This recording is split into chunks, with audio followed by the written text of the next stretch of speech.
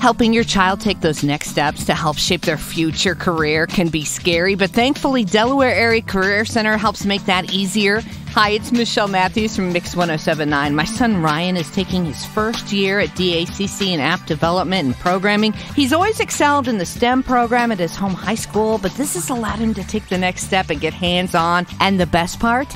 He loves it. Is your child ready? Find out more at DelawareAreaCC.org.